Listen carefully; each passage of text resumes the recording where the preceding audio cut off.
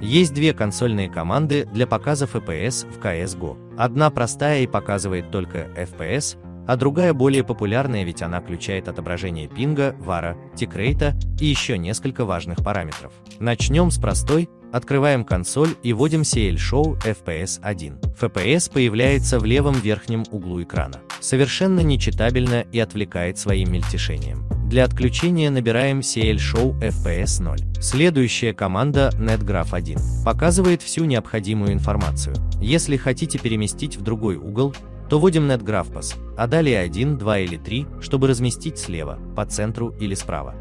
Чтобы уменьшить, вводим NetGraph Proportional Font, 0 меньше, 1 больше. Все команды будут в закрепленном комментарии.